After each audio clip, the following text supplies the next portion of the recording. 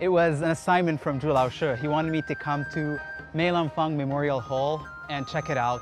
He used to be a male actor of female roles or dan, and he left his legacy on this art so much so that whenever you speak of Peking opera, the name Mei Lanfang is bound to crop up.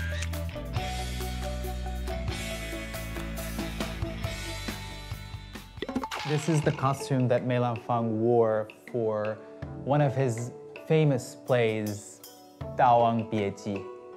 Just look at these intricate details. I mean, the attention to details and the intricate patterns and the clash of colors. It's incredibly beautiful. If I were to come and visit Mei Lanfang, if that ever happened in a parallel universe back in the 1950s, this is where he would have received me.